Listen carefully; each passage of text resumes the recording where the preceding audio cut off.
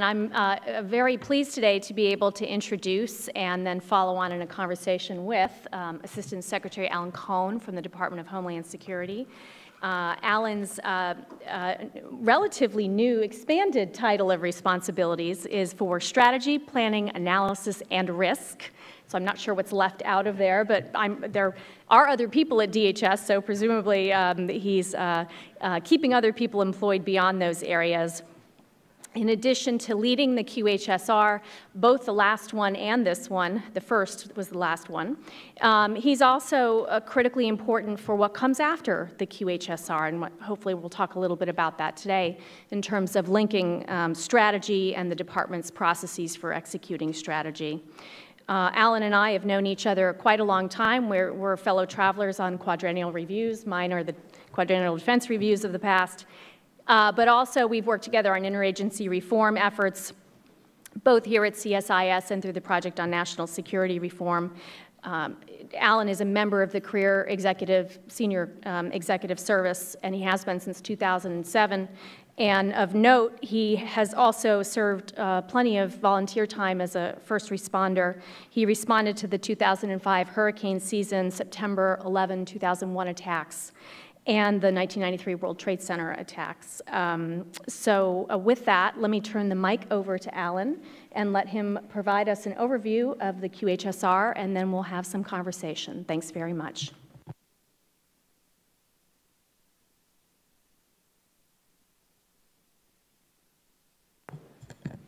Uh, thank you so much, Kath. I appreciate that. And uh, thank you all for coming today. It is a privilege uh, to be here as Kath noted, we have worked together on, on many different issues, and it's, it's nice to be here to be able to, to talk uh, to all of you uh, in this environment and in this forum uh, about the review uh, that we released. Um, so what I wanted to do was take the opportunity today to talk uh, to all of you about uh, the review itself, um, some of the findings, and also how it fits into the larger initiative on unity of effort within the Department of Homeland Security that Secretary Johnson uh, initiated soon after he arrived at the department. So, uh, for those who don't know what the Quadrennial Homeland Security Review is, it is a mandated review uh, that the department undertakes every four years, um, and it really has two uh, dual purposes. Uh, number one is to make recommendations regarding the strategy uh, and long-term priorities of the nation for Homeland Security. So looking out nationally uh, across Homeland Security. Second um, is uh, to articulate guidance on the programs, assets, capabilities, budget, policies, and authorities of the Department of Homeland Security. The Department of Homeland Security as one part of the larger enterprise of federal and state, local, territorial, and tribal, uh, private sector, international, uh, partners uh, of all types, as well as individuals, families, and communities that all have a place uh, in keeping uh, the American homeland safe and secure. The first QHSR we delivered uh, to Congress in early 2010. And that QHSR, that first QHSR, really answered the question, what is Homeland Security? Um, it established a, a, series of key concepts, laid out a vision, uh, and a set of goals and objectives for Homeland Security. Some of the key things that were articulated in that first review uh, were that number one, Homeland Security has a forward-looking vision and mission and responsibility. It is not a, a question of sitting and waiting uh, for the next bad thing to happen. It is ensuring a safe, secure, and resilient uh, American homeland, and doing that together with partners and stakeholders of all types. Um, following on that, Homeland Security is, is carried out through an enterprise. Again, the Department of Homeland Security is just one piece of the larger national puzzle, um, looking at responsibilities um, and authorities' competencies uh, and effective actions of a wide variety of organizations and individuals. Third was that Homeland Security is deeply rooted in American history. We think about Homeland Security, we think about the attacks of September 11th. Uh, but the concept of Homeland Security is really about the intersection of traditional governmental and civic responsibilities with new and emerging threats and challenges. And so we think about things like civil defense, customs, uh, border uh, responsibilities, law enforcement.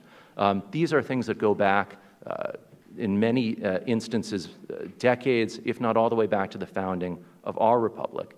Uh, and they are foundational elements of any nation's ability to keep its population safe and secure and resilient.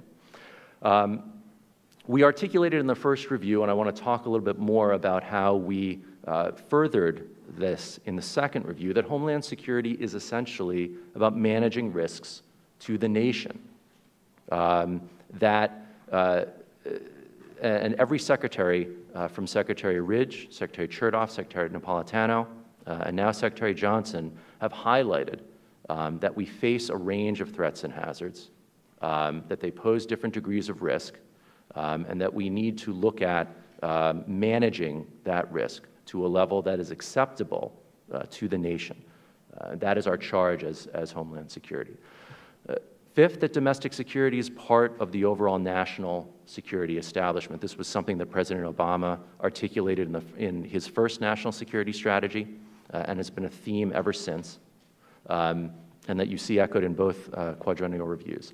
And then the last thing that, uh, of note, to note from the first review uh, was the articulation of both cybersecurity and national resilience, including all hazards emergency management, as core Homeland Security missions.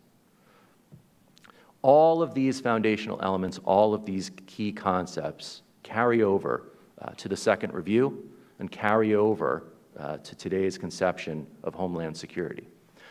The purpose of the second quadrennial review, therefore, is different it's not to repeat this exercise, but to build upon these key concepts, these key principles, uh, and look deeper and more extensively uh, at, the ch at challenges. So we did three things in this review. First, um, we describe changes in the overall security environment that have occurred since the last review. Um, and that's looking extensively at the strategic environment, looking at, at trends, uh, future uncertainties, and in particular looking at it through the lens of risk, strategic, national level, homeland security risk. Second is to update uh, the goals and objectives that sit underneath the five Homeland Security missions. Those five Homeland Security missions endure, but of course changes over the last four years, as well as changes that we can anticipate in the future, uh, advise us uh, to, keep, to update and renew that five mission framework. And then third, this review takes the opportunity to articulate a set of strategic shifts necessary in key specific areas uh, to best address the changed security environment. Um, and again, in doing that, uh, the review reflects a more focused, more collaborative departmental strategy planning and analytic effort, uh, and in that way takes an important foundational step for the Secretary's Unity of Effort uh, initiatives. So a moment, uh, just a word on that. Um, Secretary Johnson saw very quickly um, that enhancing departmental unity of effort was, a key, was going to be a key element of the success of our department and therefore needed to be a key element uh, of his time uh, as the leader of the department. In April, uh, Secretary Johnson released a memo internally within the department uh, on strengthening departmental unity of effort outlining his priorities for how the department will manage itself in a more effective way, how the department will build upon the successes that we've had um, and the capabilities and competencies and unique perspectives and authorities of each of our entities uh, to build an organization that's truly greater than the sum of its parts. And so that unity of effort uh, initiative really takes uh, not only a more disciplined and focused look at the development of policy and strategy, but also creates defined linkages in how we drive strategy and policy into execution, both on the investment side with respect to joint requirements and capabilities, programs and budgets uh, and major investments, but also in operations. How do we plan jointly for operations? How do we conduct our operations uh, individually and jointly? uh, ultimately all in the service of effectiveness, of results for the American people. Um, and so the quadrennial review provides some of that strategic guidance and the underpinning analysis, uh, a set of clear risk-informed strategic priorities uh, to inform the department's path over the next four years.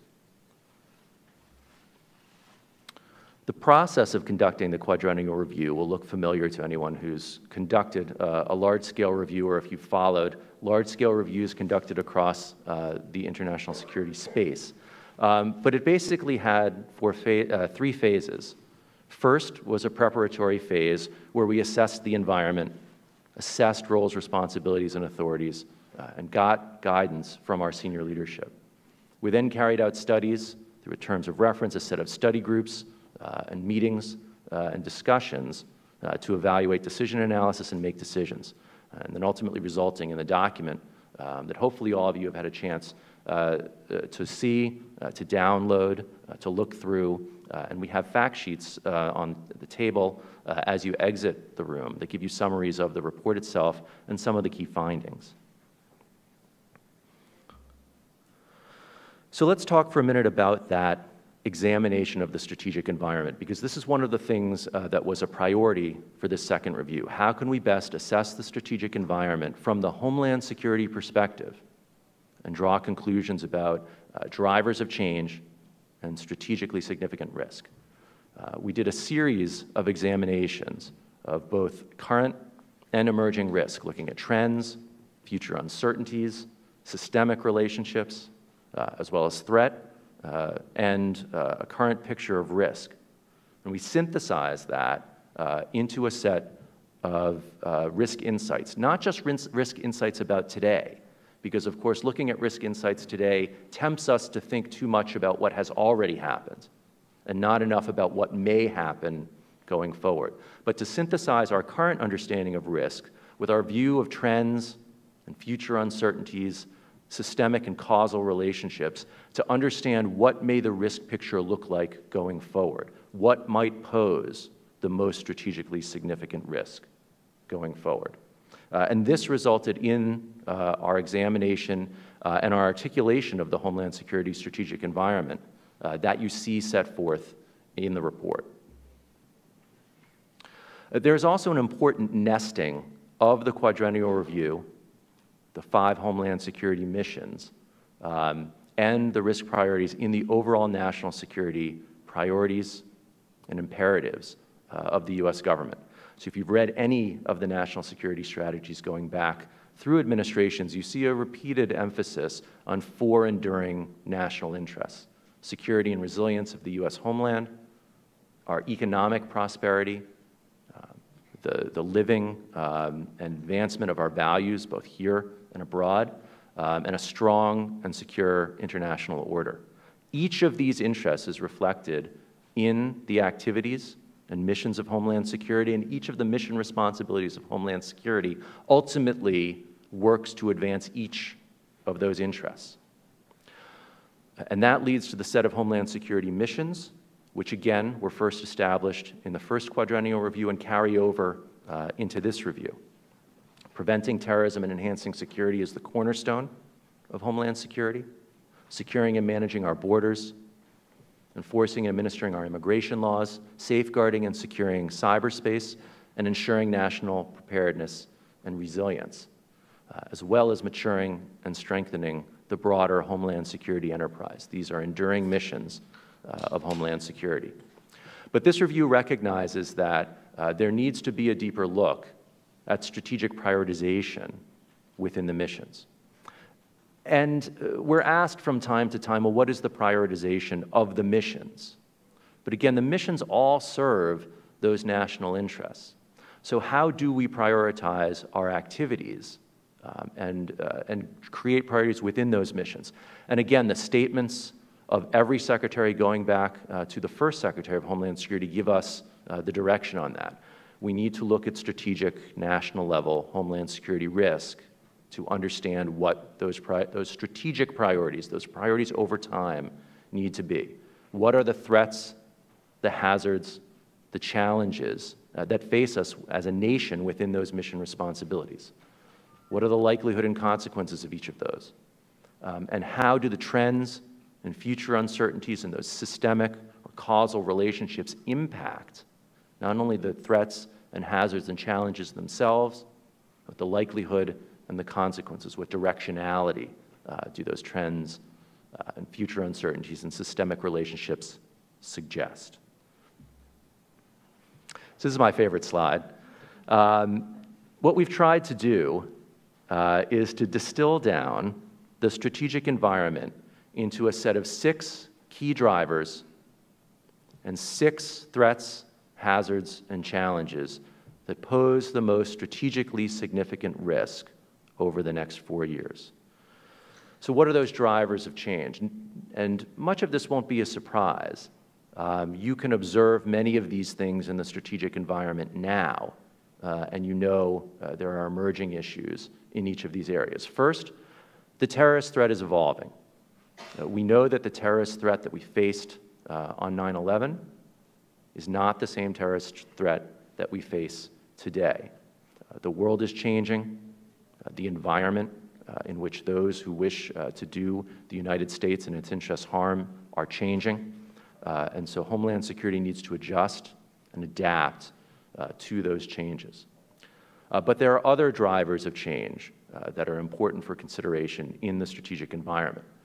Information and communications technology. When, uh, uh, when 9-11 occurred, uh, there were no iPhones, right? There were no iPads.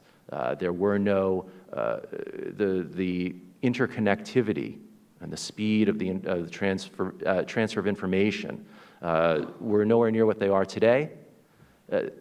and the pervasiveness of, inter, of information and communications technology and the way that it interconnects all things in the world had advanced dramatically at the time of the first quadrennial review, and it advanced dramatically again between that review and this.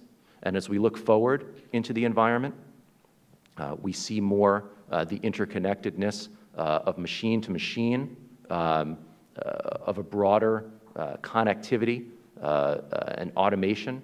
we see that change will continue to happen in that area in a rapid pace, driving not only threats, hazards, and challenges, but their likelihood, consequences, vulnerabilities.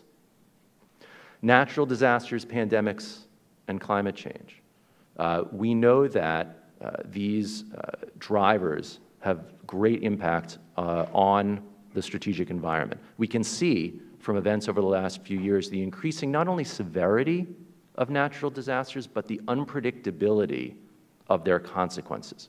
Um, as our world becomes more interconnected, uh, as disasters happen in different and unpredictable ways, and, and, as they cause cascading impacts through our communities, uh, through our societies, through our infrastructure.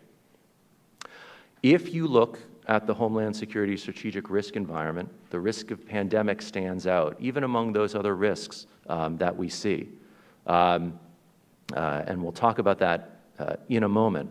Uh, but a key driver uh, of concern uh, about threat and challenge and vulnerability in the strategic environment. Interdependent and aging critical infrastructure systems and networks. After, when 9-11 occurred, we thought the primary threat to our infrastructure was kinetic, was individuals wishing to do it harm, uh, to bring harm to infrastructure through kinetic means.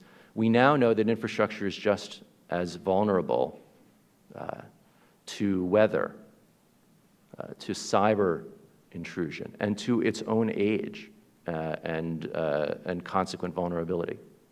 Uh, and so both the interdependence and the age of our systems and networks uh, provide uh, questions and challenges for us going forward. They also provide opportunities as that infrastructure is updated and replaced. It gives us the opportunity uh, to build in more resilience, more security, more forward-looking emphasis uh, on the way that we, uh, that we construct and think about our infrastructure base.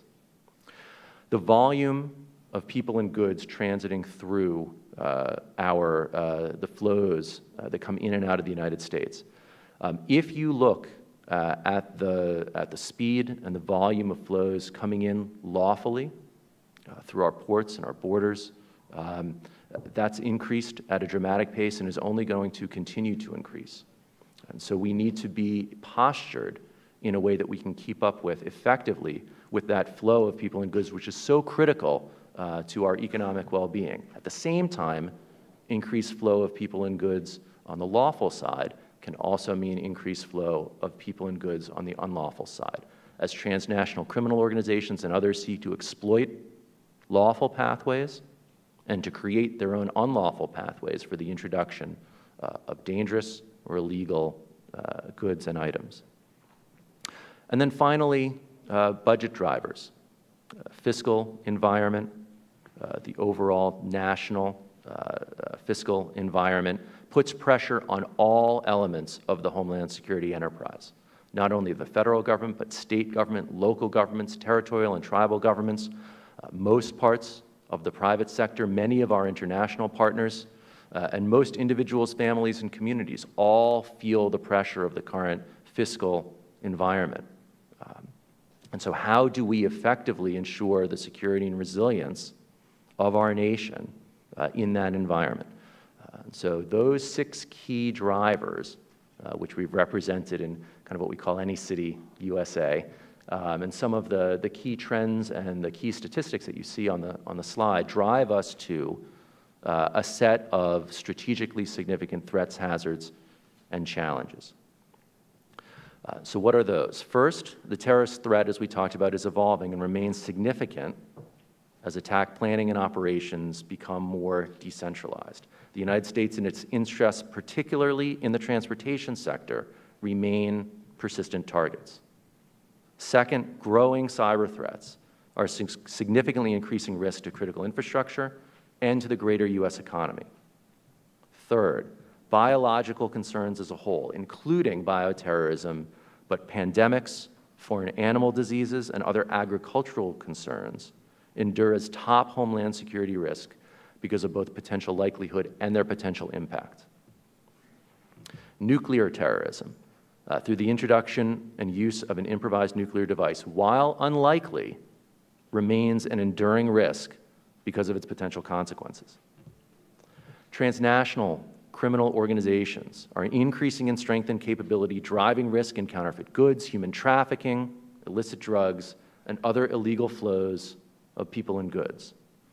And finally, natural hazards are becoming more costly to address with increasingly variable consequences driven by trends such as climate change and aging infrastructure. So our look at the environment identifies a set of key drivers, and that allows us to, uh, to discern a set of strategically significant risks, over, uh, threats and hazards that pose uh, the most strategically significant risk over the next four years. Some of the guiding principles uh, that we articulate in this second review. First, again, the cornerstone of Homeland Security is preventing terrorism, but Homeland Security must be multi-threat and all-hazard. Uh, we talked about in the first review how all-hazards emergency management was a fundamental element of Homeland Security. In this review, we recognize, again, what a reality that everybody who operates in this environment knows, is that Homeland Security is multi-threat as well. Second, something equally apparent on its face to everyone who operates in this area, Homeland Security supports economic security uh, through ensuring uh, the safe uh, and efficient movement of people and goods uh, through lawful means across our borders in service of our economic well-being and our health as a nation. Homeland security and economic security are inextricably intertwined. Third, Homeland Security requires a networked community. In the first review, we talked about the Homeland Security enterprise. This review recognizes that we must continually strive to network that enterprise together, uh, to share information, to share best practices, to build capacity, um, so that we can all work together towards common ends. Fourth, that Homeland Security relies upon the use of market-driven solutions and innovation. We must recognize uh, the market nature of some of the threats and hazards and challenges that we face and recognize the vast potential of market solutions and partnership across public and private sectors in addressing uh, threats, hazards, and challenges. Fifth, um, and though it should need no, uh, no re-emphasis, we do so here, Homeland Security upholds civil rights and civil liberties, thinking about the national interests that have been articulated in successive national security strategies our Homeland Security activities serve all of those interests, uh, including our values here and abroad. And sixth, again, Homeland Security is national risk management. And so this review makes the effort to evaluate the strategic environment, articulate those threats, hazards, and challenges that pose the most strategically significant risk, and articulate strategies, either new or shifts or re-emphasis of things already done to address those most strategically significant threats, hazards, and challenges.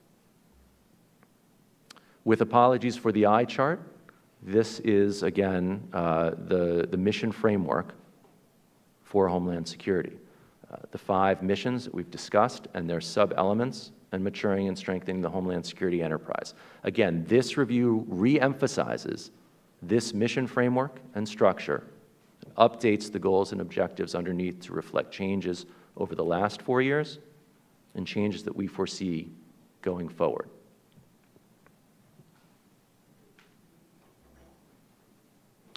So what did we look at in this review as a result? Uh, there were five uh, studies linked to findings in the strategic environment uh, and to guidance from leadership. Um, and then we recount and reemphasize the, the approaches that we are already taking to other pressing challenges, hazards uh, across the Homeland Security environment uh, within this review. Um, so this review talks about how we will secure against the evolving terrorism threat, how we will safeguard and secure cyberspace, it articulates a Homeland Security strategy for countering biological threats and hazards, building on all of the work that has done, been done before, but recognizing not only the enduring nature of this risk, but the increasing nature of this risk. The review articulates a risk segmentation approach to securing and managing flows of people and goods. What does that mean? It means that the different types of threats and challenges uh, that come uh, that face the country through the flow of people and goods are different that just the volume and speed of lawful goods is different than the profit motivated actions of transnational criminal organizations, is different than the ideologically motivated or naturally occurring challenges that can come through uh, the flows of goods and people entering and exiting our country. And finally, uh, the review uh, examined uh, and articulates a basic way of thinking about uh, executing our missions through public-private partnerships. Again, building on all of the work that's been done, uh, not only over the last four years, uh, but uh, since the inception uh, of the department on public-private partnership in a number of different venues. Based on the strategic environment, our mission responsibilities, the review also discusses and reemphasizes the approaches that we are taking uh, to countering nuclear terrorism using an, an improvised nuclear device, uh, our approaches to managing the challenge and, uh, challenges and opportunities of immigration, um, and our approaches to national preparedness uh, and our whole community approach. Okay, so what does the review say about each of these things? With respect to the terrorism threat, uh, again, the nature of the terrorist threat to the United States has changed dramatically since the September 11th, 2001 attacks. Just since 2009 and the publication and the conduct of the first quadrennial review, we've seen the rise of al-Qaeda affiliates, such as al-Qaeda in the Arabian Peninsula, uh, which has made repeated efforts to export terrorism to our nation. And that is, that's one challenge, the external challenge coming into our homeland. But we also know that we face the threat of domestic-based lone offenders and those who are inspired by extremist ideologies to radicalize to violence and commit acts of terrorist violence against Americans and the nation. And so this second quadrennial review outlines an approach to focus on countering violent extremism and help to prevent complex mass casualty attacks, building again on the, on the strategies and policies articulated uh, by the President uh, and by the Department in this area. Um, the approach to counterterrorism and the shifting and evolving uh, approach to preventing terrorist attacks prioritizes identifying, investigating, and interdicting threats as soon as possible, including providing support to international partners to increase their border management, customs integrity, and law enforcement capabilities and capacities, and to use information received in advance uh, to screen dangerous goods and people abroad based on risk waiting for rather than waiting for arrival in the United States. These are concepts uh, that have been instantiated in our approach uh, to terrorism over successive administrations. We reemphasize these areas uh, and articulate new uh, and, uh, and evolving ways uh, to use these types of approaches to counter the terrorist threat as we see it today and as we see it evolving in the future. Safeguarding and securing cyberspace. Each and every day, the, the United States faces a myriad of threats in cyberspace. From the, from the theft of U.S. international property, through cyber intrusions, to denial of service attacks against public facing websites and attempted intrusions of U.S. critical infrastructure. To address these threats, we've identified four strategic priorities strengthen the security and resilience of critical infrastructure by leveraging the work being done pursuant to Executive Orders 13636 on improving cybersecurity critical infrastructure and Presidential Policy Directive 21 on critical infrastructure security and resilience, each of which build on uh, previous efforts, U.S. government and national efforts uh, to strengthen, safeguard, and secure cyberspace. Uh, securing the federal civilian government information technology enterprise by helping federal civilian agencies manage cyber networks, advancing law enforcement incident response and reporting capabilities through close coordination with our partners across the law enforcement and incident response uh, and reporting community, and strengthening the broader cyber ecosystem by collaborating with communities domestically and abroad, standardizing information sharing practices, and developing a skilled workforce. With respect to, to biological threats and hazards, as we noted, again, the strategic environment assessment and the assessment of strategically significant risk continues to point us uh, towards biological threats and hazards. Not just bioterrorism, but, but emerging infectious disease, again, foreign animal disease, agricultural concerns, as a top risk that we currently face and a risk that's only growing over time. So, how can we best build on the work that's been done to date, the lessons that have been learned and implemented from previous events, previous exercises? Uh, our approach is to stop incidents involving priority biological threats and hazards before they escalate to overwhelm state, local, tribal, and territorial partners, while ensuring that those partners have the capabilities and capacities necessary to manage and respond to mid range biological incidents.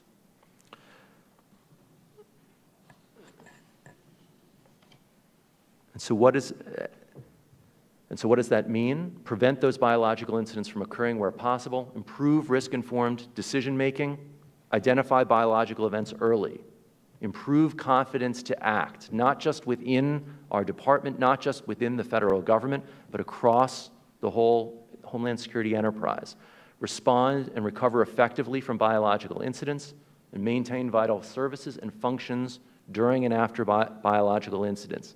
Uh, maintain our ability to continue to function not only as a society, our infrastructure, our critical services, should an event of this type occur.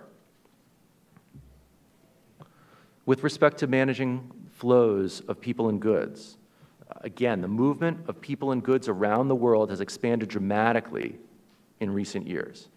Uh, as the volume of global trade and travel increases, the potential for illegal transport of people and goods across our borders also increases. The Department of Homeland Security and our partners continue to secure and manage flows of people and goods to ensure economic prosperity and minimize risk. So based on an in-depth look at the flows of people and goods, we see three distinct but interrelated types of flows, each of which requires a different risk-based approach by DHS and our partners. Different, but inherently interrelated. First, the legal flows of people and goods. How do we stay ahead of increasing flows, increasing volumes, increasing demands, uh, and not only safeguard but expedite the flow of lawful, uh, the lawful flow of people and goods into and out of the United States. Second, market or profit driven illicit flows of people or goods. Transnational criminal organizations and others engage in wide scale activities um, uh, to bring uh, illicit goods into the United States and reap profits from those activities, uh, but they do this for profit. Um, and so, how can we tailor our approaches uh, to, best, uh, to best approach those activities which are different than lawful challenges and different than ideologically driven challenges. And then third, terrorism and other non-market concerns. Ideologically driven threats and challenges or naturally occurring threats and challenges. How do we ensure that these neither disrupt lawful flows of people or goods nor exploit them uh, for ill purposes? Segmenting flows of people and goods in this way permits more, more focused strategies and more efficient allocation of resources. Strengthening the execution of our missions through public-private partnerships. Many of you are probably familiar with the National Infrastructure Protection Plan and our overarching uh, framework of cooperation and coordination with our private sector partners through now the 16 critical infrastructure sectors and the network of sector-specific agencies across the federal government and sector coordinating councils made up of our private sector partners across industries. Uh, this is a very strong and important set of public-private partnerships for Homeland Security, but it's not the only set. Whether it's the Coast Guard's captain-of-the-port relationships uh, with shippers, state and local law enforcement, uh, our partnerships across uh, the movement of people and goods across the U.S. government with the private sector and with other partners. Uh, there are many examples uh, across uh, Homeland Security and across the U.S. government of governmental relationships and agreements with private sector partners uh, to enhance security and safety uh, and ensure national resilience. Although each of these partnerships emerge from unique circumstances and specific challenges, there are important commonalities, models, lessons learned, and best practices that can be applied to a range of other Homeland Security challenges. And so the QHSR provides a structured way of thinking about partnerships that focuses on a couple of key things. First of all, what is the partner, partnership aimed to do? Second, what are the interests that are at play? What are the public interests? What are the private interests? And how do they align? Where are the shared outcomes? What are we together trying to do? whether that's on a day-to-day basis, whether that's in the event of a contingency or crisis, or whether that's meant to, uh, to be a relationship that can span through both, uh, that we use on a day-to-day basis and then can scale up uh, to work effectively in crisis. Uh, and then finally, so thinking about shared outcomes, aligned interests, what are the models, the archetypes, the ways that we might structure public-private partnerships uh, to do things. Obviously, information sharing sits at the heart of public-private partnership, um, but there are other models that go beyond uh, information sharing. And in the review uh, and a companion document uh, soon to be released, we talk about uh, the different models and archetypes, the ways of thinking about interests and outcomes and aligning them uh, under common archetypes and models.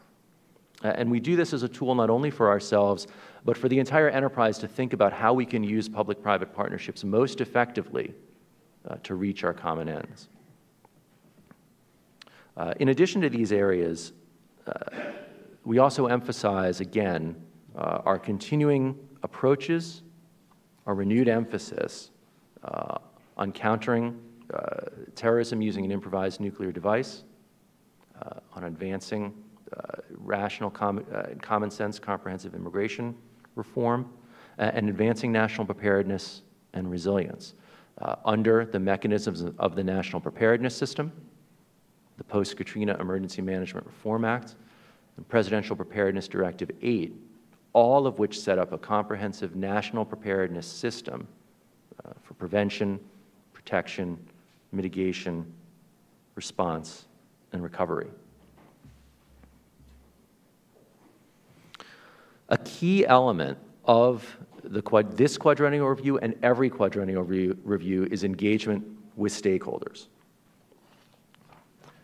In the first review, we engaged with stakeholders through a variety of manners. In this review, we sought to strengthen and deepen the engagement with the Homeland Security community in informing, uh, in informing the studies and the conclusions of the review. To that end, we conducted extensive engagement uh, with three sets of key and critical partners. First, we sought to use this exercise as an effort uh, to bring greater unity within the Department of Homeland Security. So reaching across all of our operational components, our offices, and our directorates, and leveraging subject matter expertise uh, from across the organization. But that's only the starting point.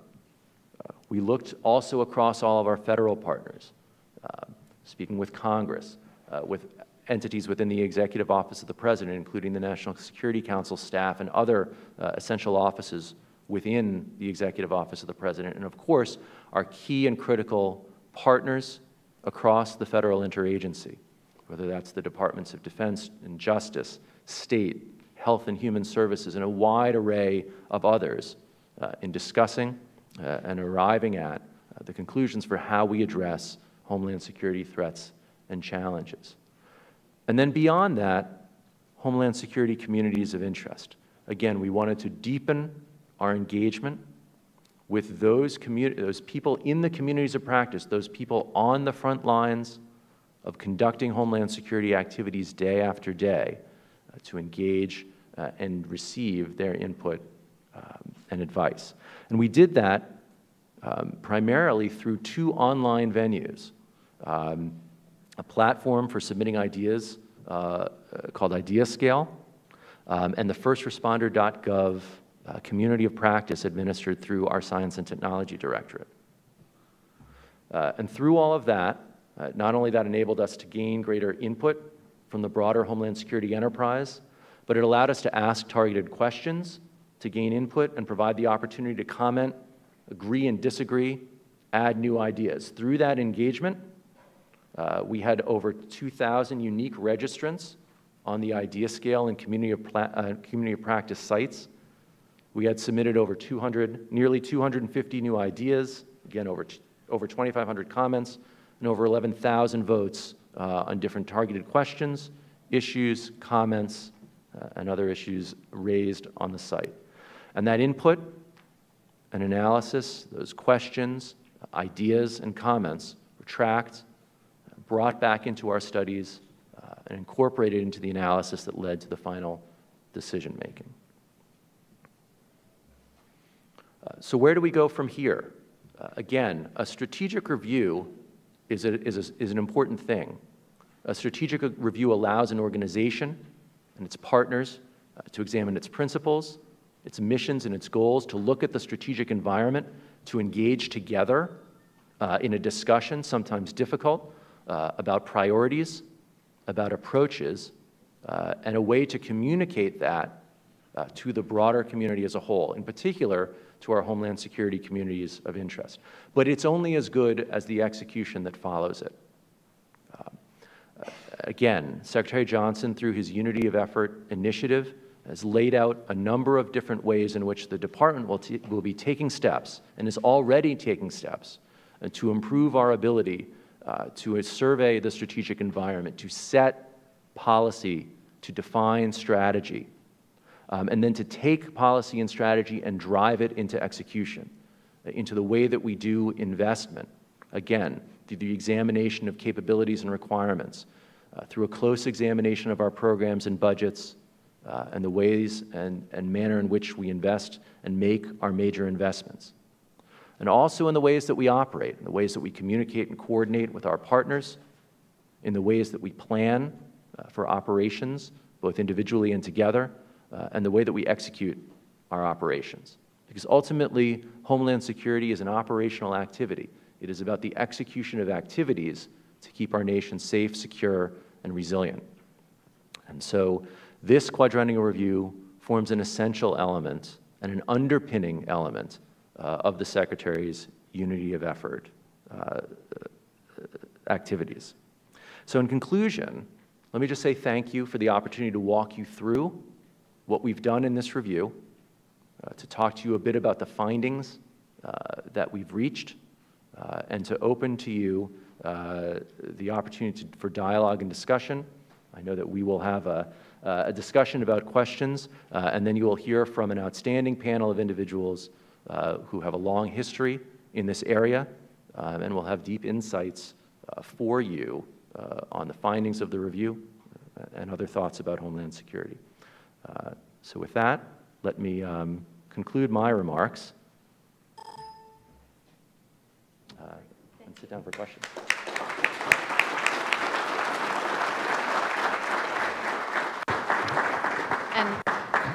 Thank you very much, Alan. And as you said, I, I neglected to mention at the beginning that we do have a fantastic panel following. Um, so we'll try to uh, get you out on time. I know you have to leave here um, right around 10. Um, and I know the audience has some questions. I do want to raise a few myself. Um, the first is from your perspective, having done the first QHSR in 2010 and now this one in 2014, what do you think has really changed the most or evolved and matured inside the Department of Homeland Security or, or across the broader Homeland Security sector that really affected the way in which this review was put together or its implications? Well, that's an excellent question. And, and I think that this second review reflects a maturing in a number of ways. Number one, um, that the Homeland Security enterprise as a whole has a greater understanding of itself and of the threats and hazards and challenges that it faces. So as we conducted an analysis and evaluation of trends, uncertainties, systemic relationships, threat, risk, we were able to draw on not only the subject matter expert, uh, expertise across our department and across the federal government, but reports and studies data and analysis that's collected across the Homeland Security enterprise. Um, and that, that only strengthened our ability to, to look at ourselves and ask uh, these difficult questions. Second um, is the ability of our department uh, to wrestle with these questions ourselves. Um, I think that this review reflects uh, an enhanced ability uh, of our department, not only our subject matter experts, but our leaders, uh, to really grapple with these issues together um, and to look at, at shared and joint approaches. Uh, and I think you see a maturing of the way uh, that, the, that the overall Homeland Security enterprise can grapple with these issues. Obviously, um, as we've talked about, as I talked about with the strategic environment, the environment has changed. The threats and hazards and challenges have evolved. Um, and so we need to be in constant dialogue with each other uh, about not only what is changing, but how we change our approaches uh, with respect to those. Yeah. Um, and I did want to, that gets very directly to the next question, which is about the changes in the threat environment, some of which you, you walked through. Um, one that sort of popped out as we looked at it here at CSIS is the, is the increased emphasis and reframing on the bio threat. So I'm interested on, on how that's evolved in the thinking, if you think the threat has evolved or just the thinking about the threat has evolved. And then more generally, you know, given the rapid evolution of the envi threat environment and the changing nature of how the, the risks lay out, how, how, how challenging do you think that is to have a risk framework tied to an annual budget process, but with a rapidly changing environment. That's something the entire national security community is grappling with. And if you have lessons learned from the work that you all have done on risk management, it would be great to hear. Well, I think that, that using a risk lens and conducting na national risk assessment is absolutely essential to thinking about Homeland Security. Again, Homeland Security is an exercise in national risk management. It's an exercise we all engage in, um, and it's a thought process that we all go through. Conducting that strategic national level risk assessment is one element of that, and we're aided uh, in that by lessons learned from some of our international partners who have been conducting these types of assessments and finding very similar uh, results. In particular, um, finding uh, similar things about uh, the risk of pandemic disease and biological challenges. We're also aided um, by the growing network and ability of localities and states and regions to conduct threat and hazard identification risk assessment processes on their own uh, with uh, assistance and support um, through, uh, through FEMA uh, as part of the Department of Homeland Security. And so communities all over the country, states, and regions are conducting their own threat and hazard identification and risk assessment processes that can be married in to that strategic national look at risk. Now, risk isn't the only way uh, that we prioritize our actions, right? It can help us from a strategic national perspective identify strategic national risks. But those aren't the only types uh, of priorities we need to grapple with. Uh, there are shorter in closer in challenges, uh, emergent issues, uh, but, a but a risk approach allows us uh, to set strategic priorities and to look to reach them over time. Now, specifically with respect to biological challenges, um, I do think that the challenges posed by, by biological threats and hazards as a whole are things that are known by the community. At different times um, since the inception of the department, we've grappled with uh, challenges posed um, both uh, by uh, bioterrorism events, um, and particularly the, the malicious use of, of, of anthrax, um, but also with a series of different um, naturally occurring uh, events that had the potential to cause human pandemic, whether it was SARS uh, or different varieties of, of influenza. Um, each of those has illustrated uh, the challenge. We took the opportunity in this review to look both from a risk perspective and a strategy perspective at those challenges as a whole. Uh, because we understand that while the motivations and causes may be different, in many ways, uh, not only the ways that we would detect um, or otherwise know that such an event was occurring, and the steps that we would take to address it as a nation are largely the same. Um, and so the quadrennial review gives us the opportunity uh, to do things not only to be able to identify such a risk, but to lay out a strategy that we can seek to implement over time as part of a larger set of priorities uh, to address that risk and not have to wait for an event to occur uh, for us to have to, for us to take action to address the risk. Okay, thank you. In the interest of time, uh, because we are running short, what I'm going to do is uh, uh, have a couple people um, ask questions. We'll collect those for Alan. He can um, answer them. I do ask that you make it a question because we really are short on time. Um, no statements, please, and give your name and your affiliation. And we'll have we have folks with microphones, so go ahead and raise your hands if you have questions. Let's see, I have one here. We'll, keep going after the question. Uh, good morning, ladies and gentlemen. My name is Rosemary Segero. I'm Segero's International Group. Thank you very much for your presentation. How, looking at the report, how are you working with international public and partnership with the government, private sectors, and the communities? Because when it comes to uh, traveling, transfer people, you know, and uh, goods, terrorism are maybe from Africa or they change passports, they change uh, names and they change. And how do you work with this in, with international communities to make this a priority of homeland security? Okay, Protect the country. Other questions? Is there one right here? Thank you. My name is Jeannie Nguyen with Voice of Vietnamese Americans. In your assessment of the threats, would you tell us uh, which one, how percentage-wise, the uh, state actors and the non-state actors? And also, have you been able to utilize all of our networks, including um, Congress, um, you know, the uh, Department of State, Department of Defense, all that together to share information and to mitigate the threat, to prevent it. Prevention is important. And have you seen the relationship between our foreign policy with threats raising inside the country? Okay. Thank you. And then I have one back here, and then I'll stop, I promise. Lloyd Solis, University of Maryland. You made mention of our aging infrastructure. Uh, just in case another huge earthquake would happen, especially in the Pacific side of the country, like California, all the way up to Alaska, and because our infrastructure are aging, just how resistant are our infrastructures on that side of the country, just in case a strong magnitude earthquake would happen? Thank you. Okay, so the three questions are essentially how well are you um, partnering internationally to execute the missions at DHS and presumably also in your outreach for stakeholders on the QHSR um, the threats of state versus non-state, the relative threats, and then also how well are you sharing information on mitigating threats across the interagency and then infrastructure.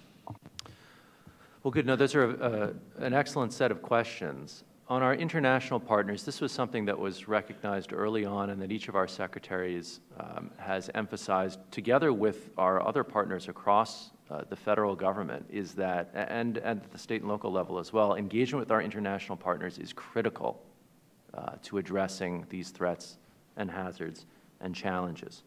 Um, and we have a wide range of cooperative relationships uh, with counterpart uh, entities across the globe, as well as uh, relationships with non-governmental organizations and civic organizations aimed at addressing this wide range uh, of threats and hazards and challenges. So international engagement uh, is extremely important uh, to fulfilling Homeland Security mission responsibilities and reaching the ends uh, that we really wish uh, to reach.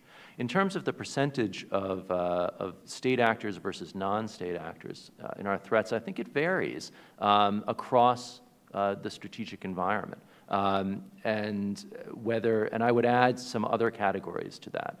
Um, there may be state actors, there may be non-state actors, transnational criminal organizations, um, organized uh, uh, criminal organizations, individual actors, natural phenomena. It's difficult to put a percentage on those things. What's most important to recognize is that, that threats and hazards and challenges emanate from all of those different sources. Uh, and that can fluctuate over time based on trends and uncertainties uh, and other types of drivers. And so it, it illustrates and highlights the importance of looking across the strategic environment uh, as we think about the range of threats and hazards and challenges.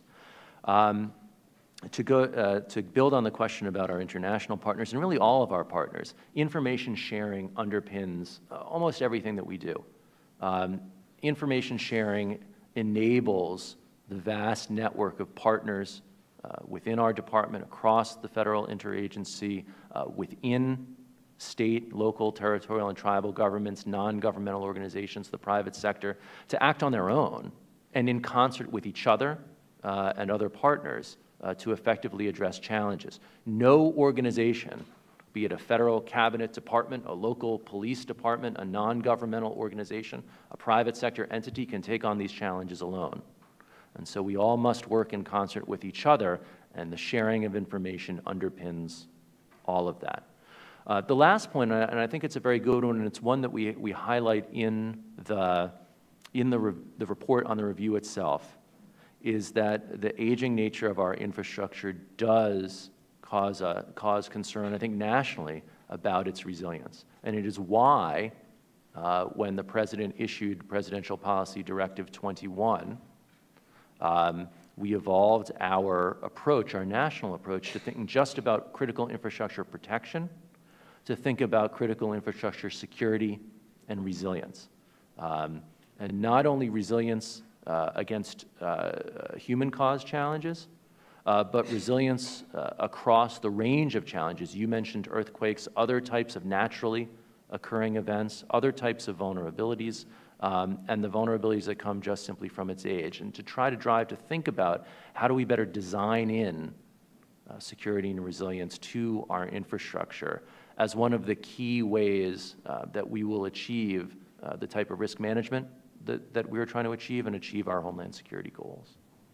If I can indulge you on one more quick round of questions, and then we'll wrap up with Secretary Cohn. Come over here to the, go this side of the room, so start here.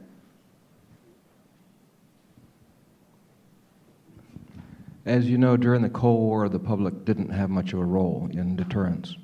But you mentioned before about the looming threats of uh, new kinds of technologies of synthetic biology and individual actors acting alone, possibly sometime in the future, deploying and making weapons of mass destruction. Have you looked at how to engage the public? What is the public's roles, plural? And it, it had to be international because if the U.S. does everything perfect, it's not enough. So that goes back to the international cooperation, but not just nation state, but how do you, Great. what's the public's role? And uh, just remember to give your name and affiliation, oh, please. I'm Jerry Glenn uh, with the Millennium Project. Thank you. And then Father over here.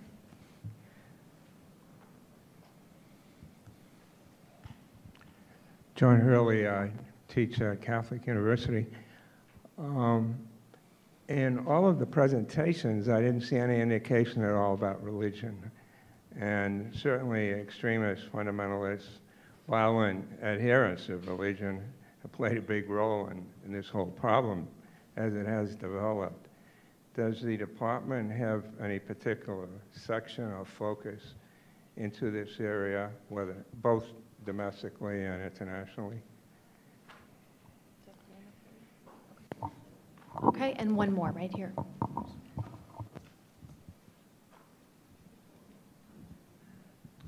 I'm Mark Rockwell. I'm with Federal Computer Week. How has the nature of the cyber threat changed since the last uh, QHSR?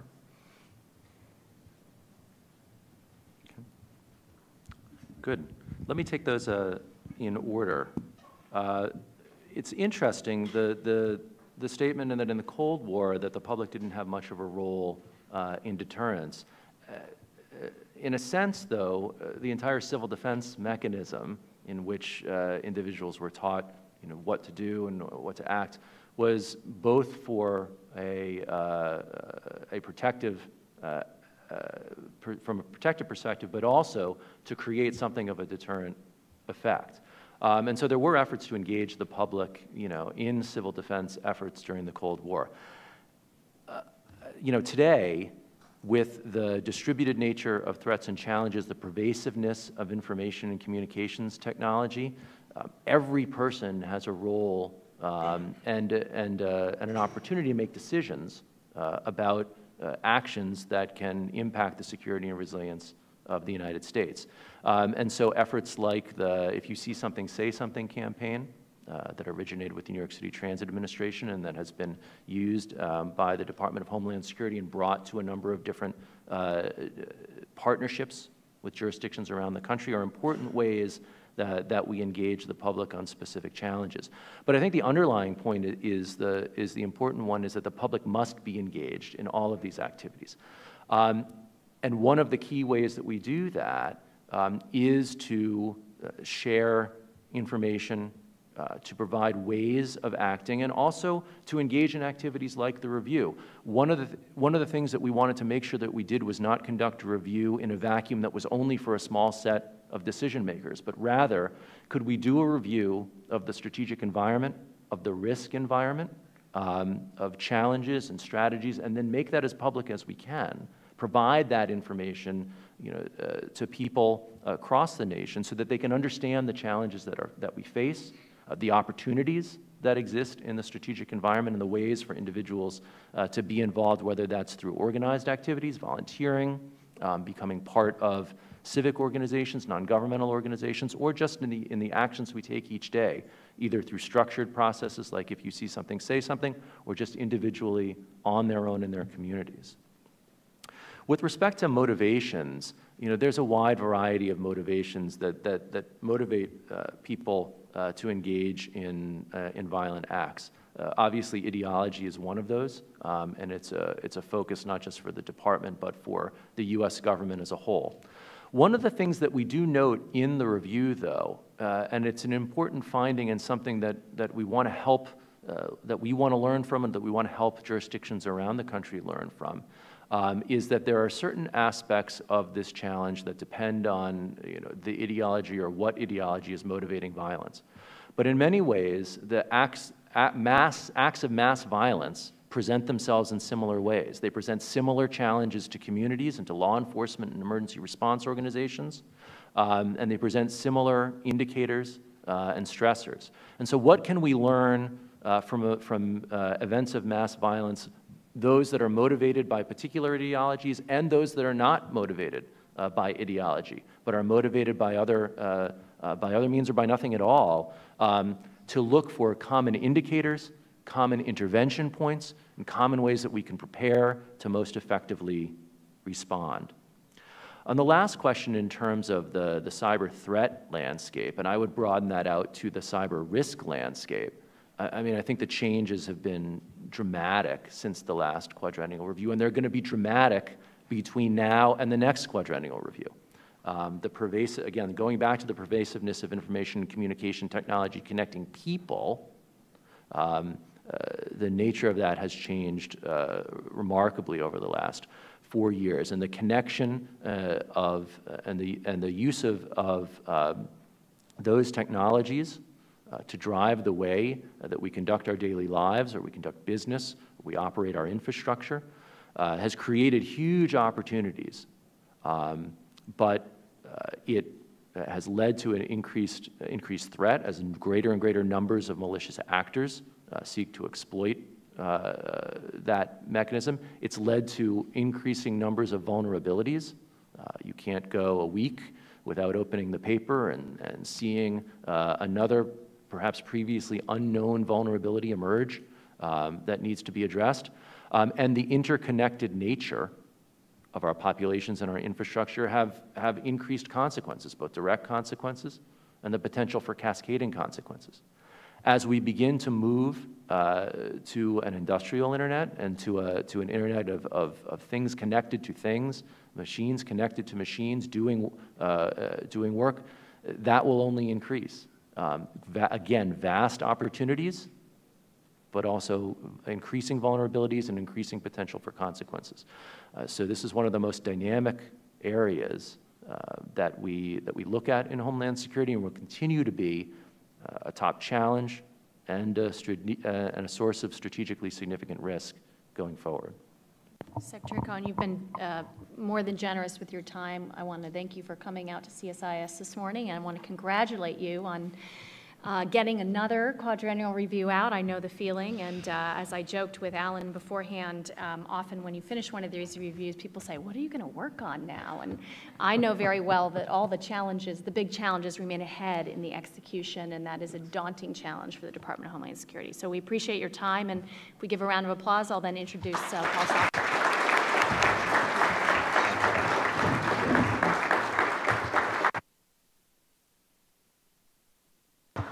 You'll excuse the informality, I'm going to introduce our uh, panel moderator uh, from my chair here. Um, uh, we're very fortunate to have former Assistant Secretary Paul Stockton, who is also a senior advisor here at CSIS, um, here to moderate our panel. Uh, Paul was the Assistant Secretary for Homeland Defense and America's Security Affairs in the Department of Defense um, he also led, importantly, in September 2013, he was asked by Secretary Hagel to co-chair the uh, independent review of the Washington Navy Yard shootings. Um, he began his career with Senator Daniel Patrick Moynihan, which is one of my favorite facts about him. Um, and Paul is incredibly accomplished um, in all of his government service, but also currently serves as the managing director of Sonecon LLC. And he's going to introduce the panel here today. So please join me in, in welcoming Paul.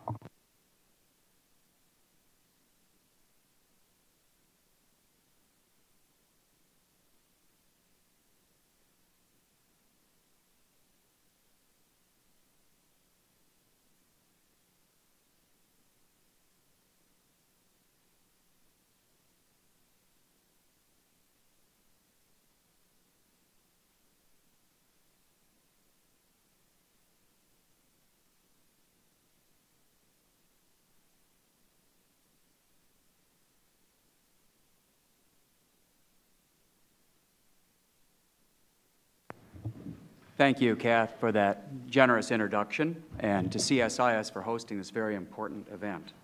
Uh, it is true that as Assistant Secretary of Defense, I had the privilege of bringing DoD capabilities to bear in support of the Department of Homeland Security in Superstorm Sandy, on the southwest border, many other occasions. And I'll be candid with you. In many cases, when we provided support to the Department of Homeland Security, we found that sometimes the left hand did not know what the right hand was doing. One component of the Department of Homeland Security was not well integrated with another. It made not only support to the department more difficult, but it reflected a broader lack of cohesion across an absolutely vital part of the federal uh, government. That's why Secretary Johnson's Unity of Effort initiative is so vital. It's historic. It's transformational. Unity of effort is going to enable department decision making to be much more transparent and much more cohesive, better integrated across planning, programming, budgeting, and budget execution in the Department of Homeland Security. That's an absolutely vital enterprise and the Quadrennial Homeland Security Review is going to provide the analytic and strategic foundations that's going to help turn the vision of the Unity of Effort Initiative into reality. And in a moment, I'm going to introduce my colleagues, and they'll take on particularly important issues that the QHSR illuminates. Before I do that, I want to leave you with uh, one thought, and that is although Secretary Johnson's Unity of Effort initiative is absolutely vital and just what the department needs at this moment, it's also insufficient. Let me talk about the distinction between unity of effort and what we really need in the department, which is unity of command. Unity of effort is great when no one's in charge. Let me give you a prime example from the Homeland Security enterprise, and that is disaster response. Governors don't work for the president. Governors are sovereign. They're the independently elected chief executives of their states. And so when there's a catastrophe like Superstorm Sandy, the challenge is how do you bring cohesion together between state capabilities and federal capabilities? For example, state National Guard forces under the command of governors and federal military forces under the command of the president. You do it through unity of effort. And I have to say, unity of effort is precisely what the Department of Homeland Security needs today when cohesion is so lacking and when such great opportunities for progress are now underway, thanks to the leadership of Secretary Johnson. Necessary, but not sufficient, because ultimately, one person really is in charge of the Department of Homeland Security. That is the Secretary of the Department. And I look forward to the day when unity of effort has been successfully accomplished, when thanks to QHSR we've made progress in the next few years towards unity of effort, I look forward to the day, and I look forward to engaging all of you in helping to make this happen. Someday there'll be unity of command in the Department of Homeland Security, and the Secretary of the Department will exercise the kind of authority that routinely the Secretary of Defense, the Secretary of State, and the heads of other federal departments routinely exercise. Now, let me turn to the uh, introduction of the panel. First, uh, David Berteau. David, it's wonderful to see you again. David is the Senior Vice President and Director of the CSIS National Security Program on Industry and Resources. He's also an adjunct professor at Georgetown University and at the Lyndon B. Johnson School of Public Affairs, and served in the Department of Defense under four secretaries. Geez, you'd think you'd wise up at some point. Uh, anyway, David, it's, a, it's an honor to sit on the panel together with you. Thanks. Thank you, Paul, uh, for that very kind introduction. Uh, you get to serve under a lot of secretaries if you choose those who turn over rapidly uh, in, in, the cycles, if you will. Um, I want to look at three things in my comments this morning. One is how this QHSR is a step, or whether it's a step in the right direction in maturing and strengthening the department's risk assessment and planning uh, capabilities, if you will, and in looking at the resources that are aligned with that.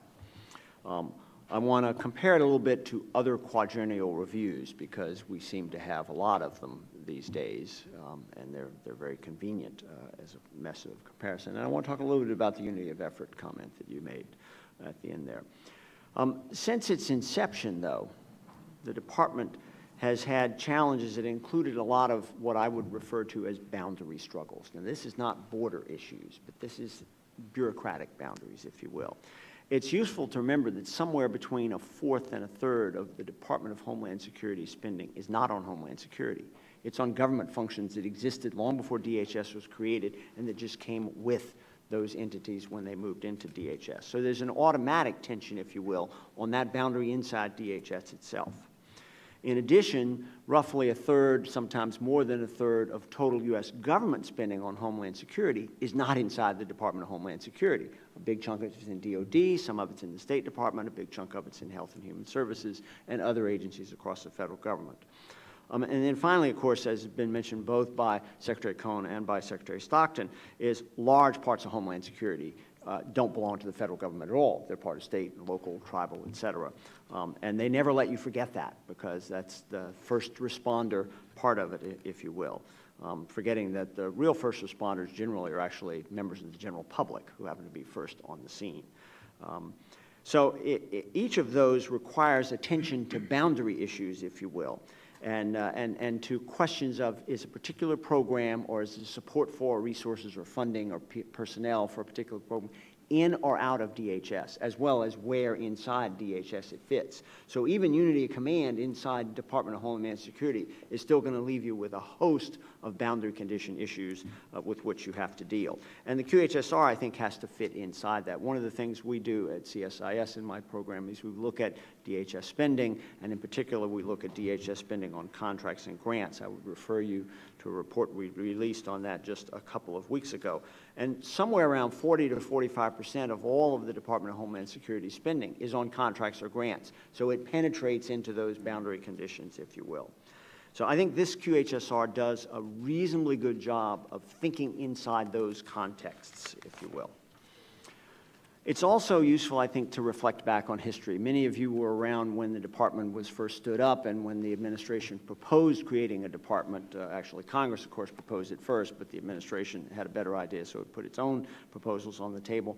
And it was compared to the Defense Department, quote, the largest reorganization in the U.S. government since the creation of DOD.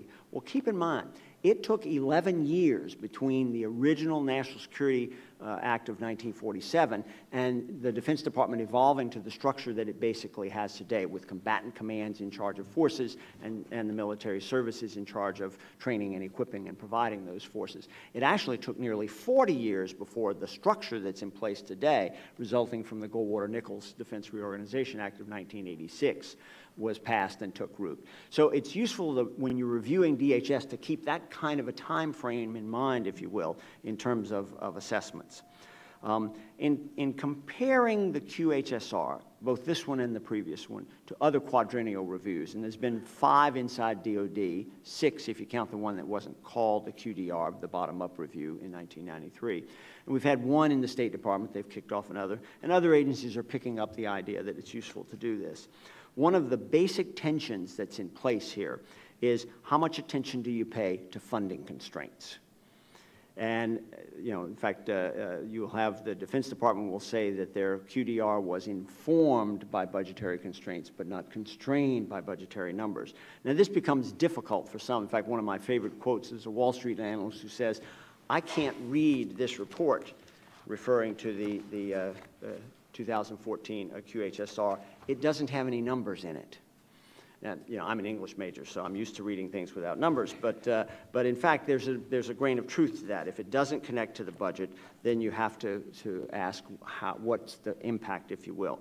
But the important question is not whether the review or the report is constrained by the budget, but in fact, what's the important, the important question is how do the budgets and programs and resources take the trade-offs that are either explicit or implicit inside the QHSR and reflect those trade-offs in the budget. And we, for that, I think we'll have to wait until the FY16 budget is submitted um, next February or March.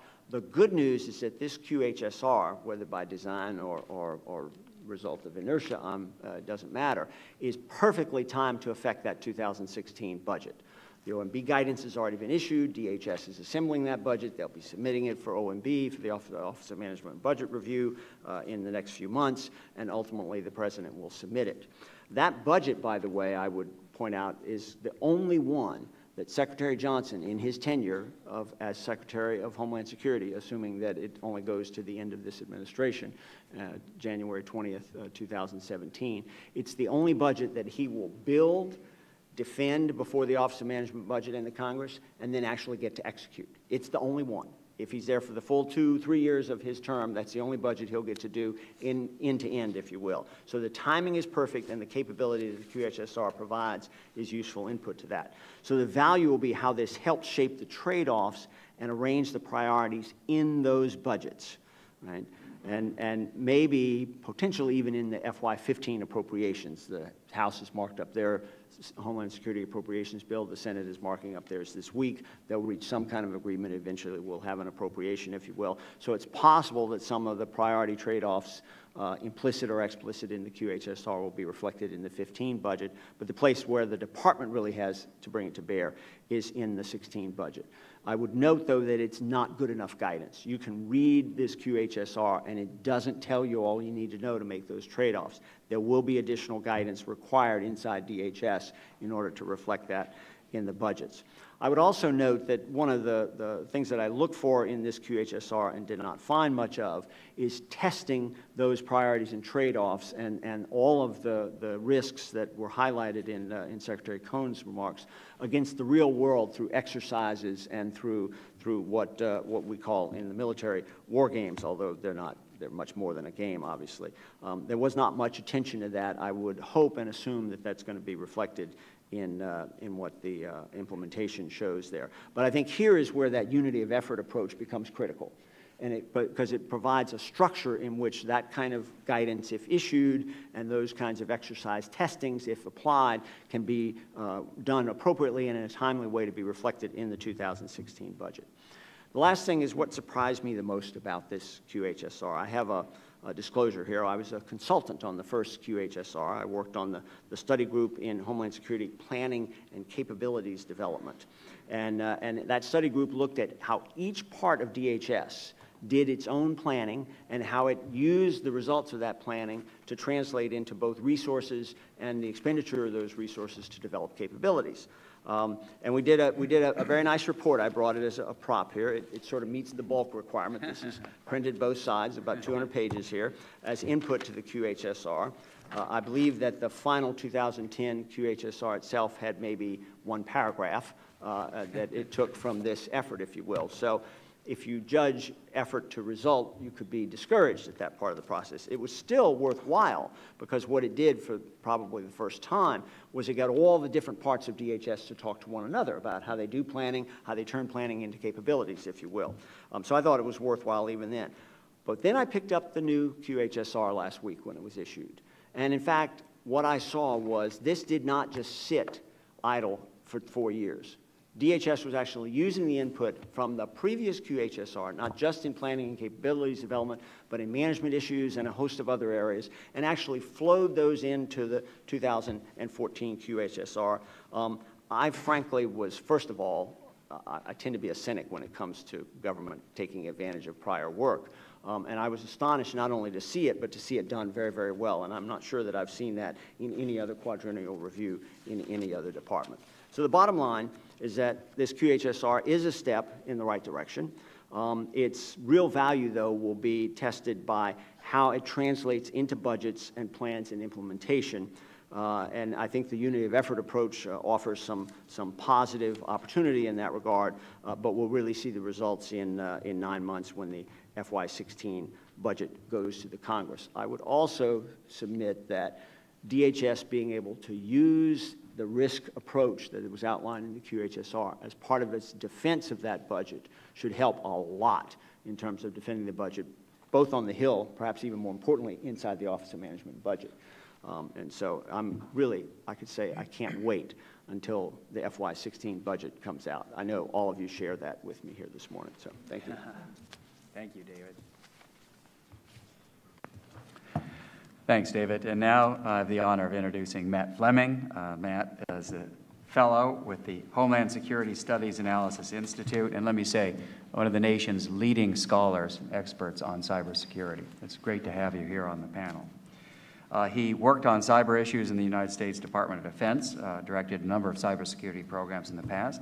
He's an adjunct professor at Georgetown University and has just a terrific background. So, Matt, please Take it away. Well, thanks, Paul. That's uh, extremely kind of you uh, to say. And uh, good after, uh, good morning. I suppose we're still good. Good morning. Uh, I'd like to thank CSIS for uh, for the kind invitation to be here today, and say that it's a pleasure to see so many familiar faces on the panel here and in the audience. Um, before I begin, I should say that my views here today are mine alone, do not represent DHS or my employers. Um, but I'm here to talk a little bit about cyber uh, and cyber in the QHSR. And so I should say that uh, for those who don't follow cyber, these continue to be exciting times in the field of cyber.